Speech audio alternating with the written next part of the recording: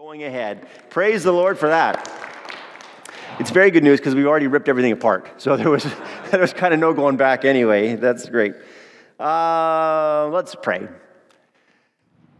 Holy and gracious God, as we gather together this morning, we do so as your children. And we gather knowing that you are a good God and a powerful God and a loving God and a God who keeps his promises day after day after day. Your promise to watch over us, your promise to protect us, your promise to forgive us every time we call upon you, your promise to answer us when we pray. So, God, as we gather now, we gather together as your children. Lord, I pray that you give to us peace and comfort and hope and faith and strength as we gather in your name. Amen. We are not going to receive our offering today by passing the plate around. It's just at the back. So if you brought an offering and you want to um, share in that way in our service, uh, the plates are just back there. And when we get to communion, I'll just kind of talk us through that, uh, but we'll still be celebrating communion uh, this morning. If you're just joining us for the first time, or if you forget where we were last week, we are working our way through the book of Esther. We are now on chapter 8. Last week in chapter 7, the queen had her second feast, invited King Ahasuerus and Haman, and it's at that feast where she announced that she was in fact a Jew, and she pleaded for the life of all the other Jews. Uh, the king went outside uh, to kind of collect his thoughts. He was quite angry at what was happening. Uh, meanwhile, Haman was pleading for his life to the queen. He topples over, falling onto the couch where she is, just as the king comes back in. The king assumes that he's making a move on his queen and immediately has Haman executed. And that's where chapter 7 ends. I'll just read those closing words for you. It says So they hanged Haman on the gallows that he had prepared for Mordecai. Then the wrath of the king abated. Remember that? Haman had built these gallows 75 feet high in his own backyard, and that's exactly where he gets killed. And this is a huge win, right? Everything has been going Esther and Mordecai's way.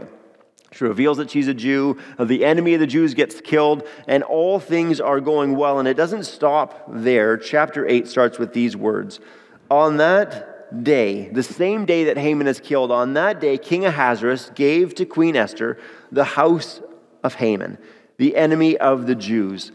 It was common practice if you were a trader of the king, uh, everything that you owned would then become property of the king's. In this case, which was unusual, the king actually bestows it to his queen Esther, who he's just kind of had this renewed love for as all this uh, has unfolded. So the uh, queen tells uh, the king who she is and also the connection between her and Mordecai, that her and Mordecai are in fact uh, cousins. And so it says this right after that. If we go to the next slide. And Mordecai came before the king, for Esther had told what he was to her, that they were in fact cousins. And the king took off his signet ring, which he had taken from Haman, and gave it to Mordecai. And Esther set Mordecai over the house of Haman. So things are going incredibly well now for Mordecai as well. He was celebrated uh, just a night ago for rescuing the king, which had happened five years earlier. And now everything that belonged to the enemy of the Jews, Haman, has been given to Mordecai. It's pretty good times, isn't it? All of a sudden, he's second in control in all of Persia. He's got all the, the house, the wealth that Haman had collected for himself. And we know that he was an incredibly wealthy man. And so things are just turning up roses for Mordecai as well, which is great. And then this is kind of nice. It warms your heart a bit that after Mordecai has raised his cousin Esther once her parents had died, he's the one who raised her up, providing for her, and now she's able to provide for him. She gives to him the house of Haman that was gifted to her. Listen, I've got this palace I'm living in. I don't need that guest house or that vacation property. You take this, Haman and uh, Mordecai. And so now everything has gone well for Mordecai. But there's still a problem. Can anyone think of what the problem is? The decree against the Jews. The genocide still exists. So Esther's now been saved and Mordecai is safe and their enemy has been killed, but this decree has gone out months earlier issuing a genocide against all the Jews. And so on this set day, all of them are going to be wiped out. That has not changed yet. And so the king, uh, queen, and Mordecai are waiting. Like, is the king going to do something about this or not? And meanwhile, all of the Jews are living in fear. They're still waiting. They're still waiting. I mean, Haman's been killed, but what about us? What's going to happen to us? And so the Jews for months are living in this fear. Church, it reminds me a lot of our world right now. People are living in fear. I imagine a lot of you are doing pretty well, but how many of you went to the grocery store and then got a little bit freaked out? Hey, you're like, what on earth? I went to Save On, and the security guard was guarding the toilet paper. It's like, what? I didn't, need, I didn't need toilet paper, but I was like, what is that guy doing here? And the staff member was talking to him, you stay here and make sure. It's like, oh my goodness, this is crazy. When you're turning to two ply toilet paper for comfort and peace, there's trouble in the world.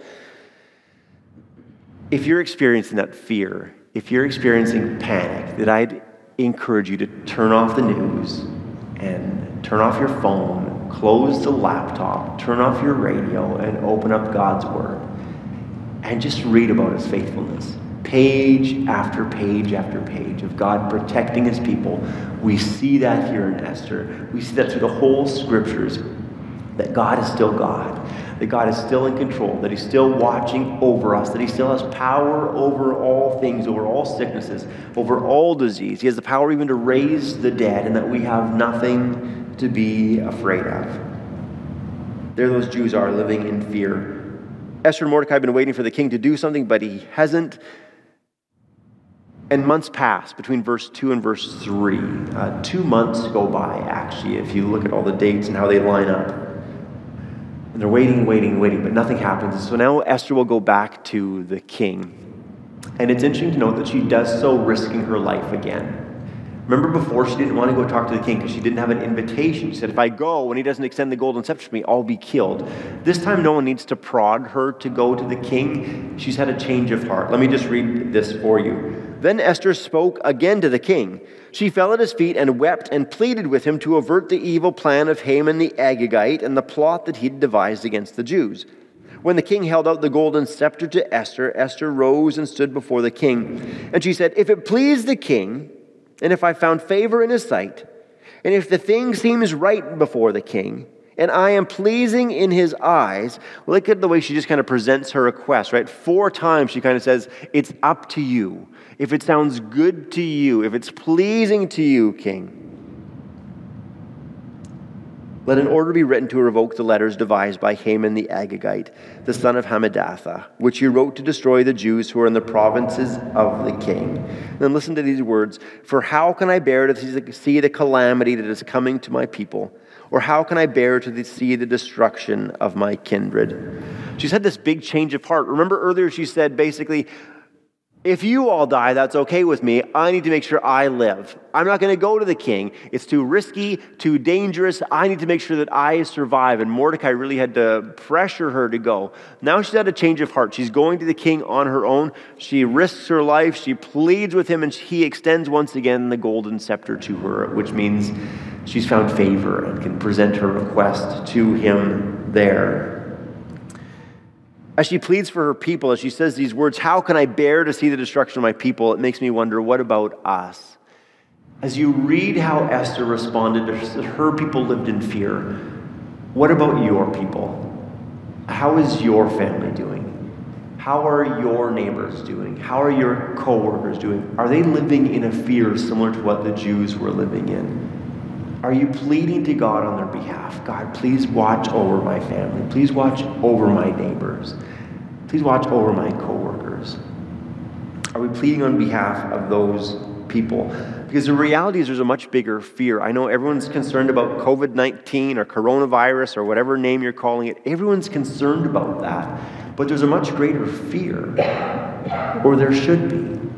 Because the Bible tells us there's two places people will go when they die that there's heaven and there's hell. And I probably don't spend enough time talking about hell. I don't pound the pulpit loudly enough or shout at you or lean over and my face doesn't turn red when I speak. We don't talk enough about hell, but the reality is the Bible says there's two places. Everyone's going to go there. That should cause some fear and concern. That should cause some pleading on our behalf for the lives of those around us who don't know Jesus yet. That should motivate us to appeal to God on their behalf again and again and again. I was with someone yesterday at the manor. They are nearing the end of their life. Um, and they were unresponsive. And so I was just sharing with the family. The great news of the gospel is that the way to heaven isn't how much we've done, It isn't how much we've amassed. It isn't how smart we are. It isn't our good works, but it's all Jesus. As Jesus says, I am the way, the truth, and life. No one gets to the Father except through me. Those are such great words of promise for us. And as people around us live in fear, we should also be alerting them to the greater fear and the greater promise that God has provided a way for them. Look at how the king responds to Esther and Mordecai. This is the king speaking Behold, I have given Esther the house of Haman, and they have hanged him on the gallows because he intended to lay hands on the Jews. But you may write as you please with regard to the Jews in the name of the king and seal it with the king's ring. For an edict written in the name of the king and sealed with the king's ring cannot be revoked. Let me translate this for you, what the king says here. I'm sorry, I can't help you. That's what he says to them. I'm sorry, but I can't help you because whatever's been decreed by the king cannot be changed. So there's this genocide issued against your people. I'm sorry. There's actually nothing I can do about it. He lists off the things I have done. You know, I did have Haman killed, okay, and so that's good news. And uh, now, now he can't do what he wanted to do, but that decree, there's nothing I can do about it. How embarrassing is that for this king? Three times he's told Queen Esther, Ask anything you want, right? You remember these words? Up to half the kingdom and it shall be yours. Give me your wish. Give me your request. I'm in a given mood. I'll give you whatever you want. And she says, This is what I want. He says, Oh, man. I, did, I didn't think you were going to ask for that. I can't do that. That's the one thing I can't do. Esther, ask me for anything else and I'll do it for you. Up to half of my kingdom. He does give them this hope. Here's my ring. Write whatever you want to write. You can issue any decree you want. Here, this king is again not asking a lot of questions, right? You want to make a decree? Go ahead. Decree anything you want, anything you come up with.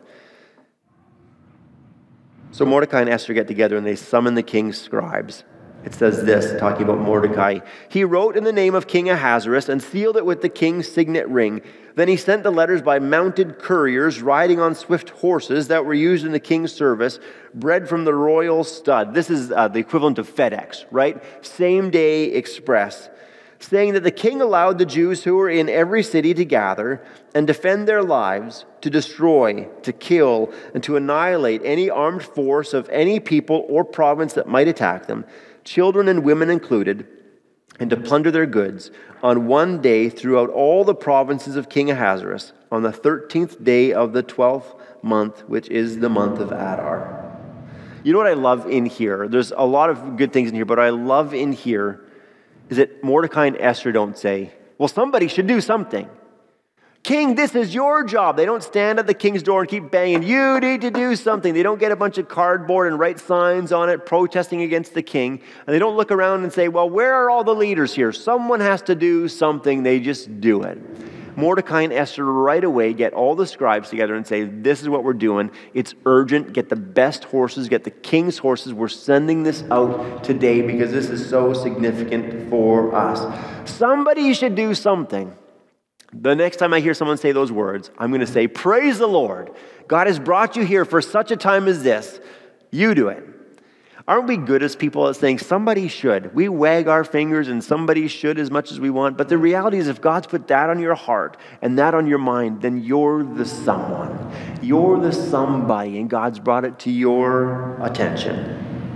Mordecai writes this new decree with full authority, and it echoes the first decree that went out. It's very similar, but it gives the Jews a few things that they can do. First of all, on that day of genocide that's been declared against them, they can gather together, they can defend their lives, and they can plunder from everyone who attacks them. They can gather together. So they can, they can rally. Right before, they just had to like take it. They had to let themselves be killed. Now the decree says, no, no, no, you get yourselves together, you get your weapons together, and then this isn't an issue to go kill whoever they want, but if someone attacks you, you can defend your lives. And you can wipe out not only the people who attack you, but you can also then go to their houses and kill their families as well. This notice was then published everywhere. The first decree was published. This day we're killing the Jews. Now this notice goes up beside it. Just so you know, the Jews are going to be armed, and if they kill you, they're going to come kill your, your wife and children as well. And I think a lot of people probably read that notice and say, I'm not going to go. I don't think I'm going to go kill the Jews today. I don't really feel up to it. It feels a little risky to me. It feels a little dangerous to me. The other change that is existent here is in the first decree issuing the genocide against the Jews, people couldn't take any plunder. There was no benefit to them except for killing the Jews. They couldn't take any plunder because Haman needed that money to pay the king. Remember, he was going to pay the king 10,000 talents for the privilege of killing the Jews. Now, the Jews are able to plunder from the people that they kill.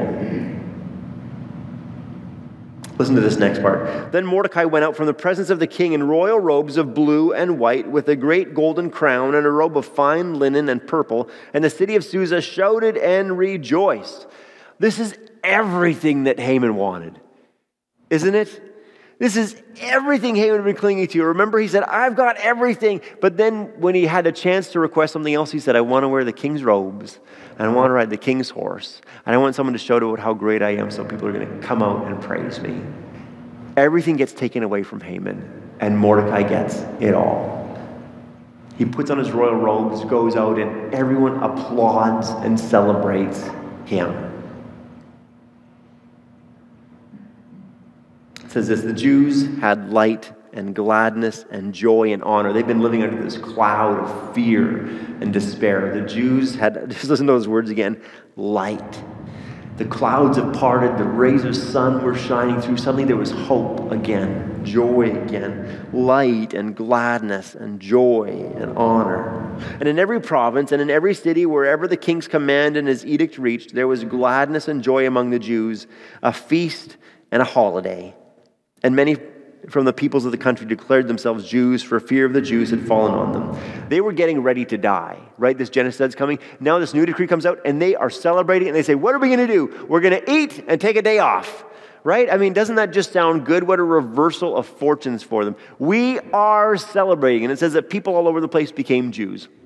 Some of those people undoubtedly became Jews because it seemed like a good move to make. Second in command is a Jew, the queen is a Jew. I'm hopping on the Jew train right now because everything is going well for these guys. But some of them, I believe, most likely said, Look at what God's doing for these people. The God of the Jews is doing something, and I'm going to put my trust, my hope in Him as well. Church, right now, you know this, but our world is in panic. And you know what they need more than toilet paper? Jesus. They need Jesus.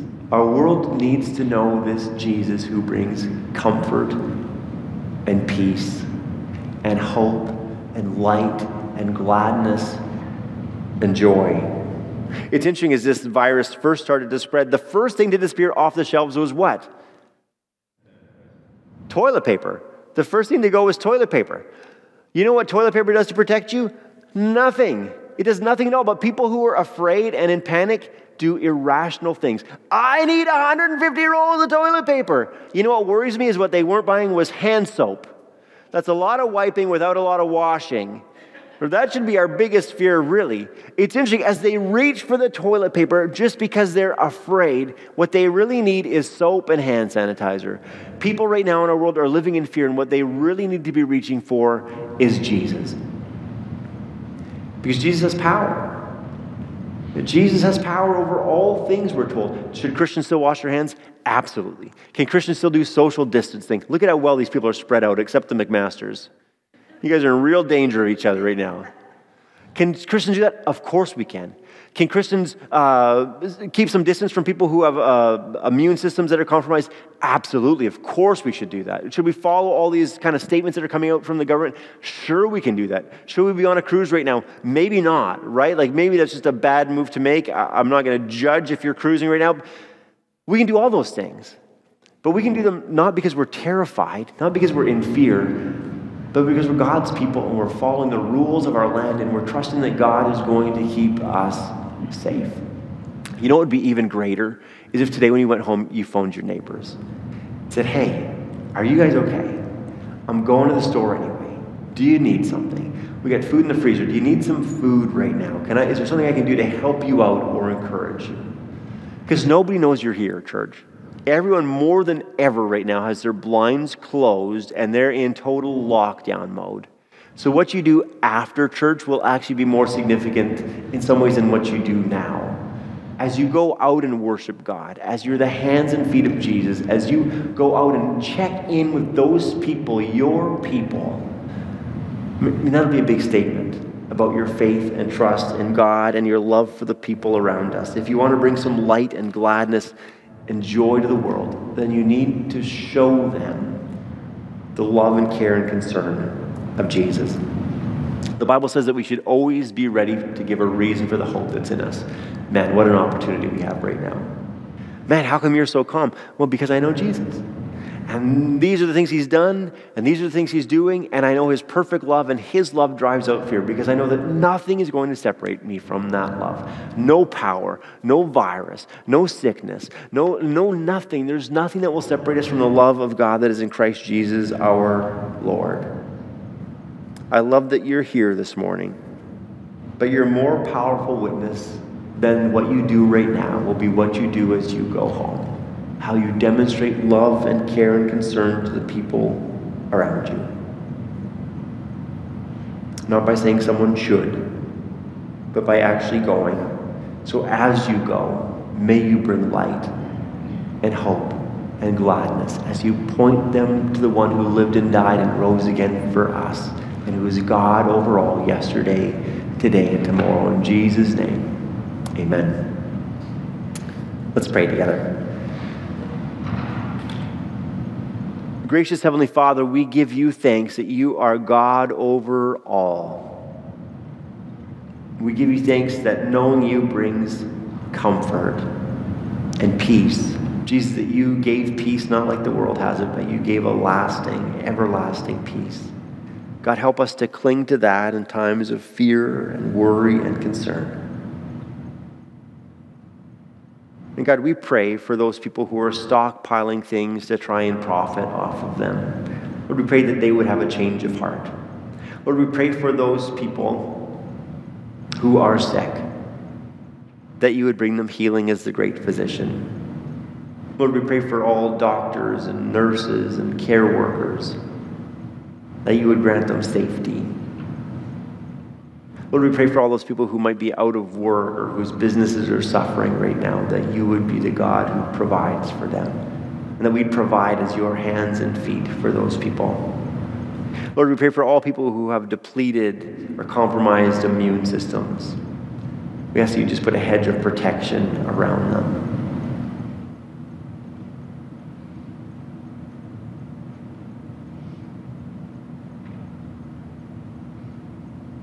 Lord, I pray that you'd bring us peace and calm. That you'd help us to see the clouds break. That we would be that light, that light of care and compassion and love that reaches out to those around us. Lord, for whatever else is on our hearts and minds today, we commit all those things to you, trusting in your Son, Jesus, who taught us to pray. Our Father who art in heaven, hallowed be thy name. Thy kingdom come, thy will be done on earth as it is in heaven. Give us this day our daily bread, and forgive us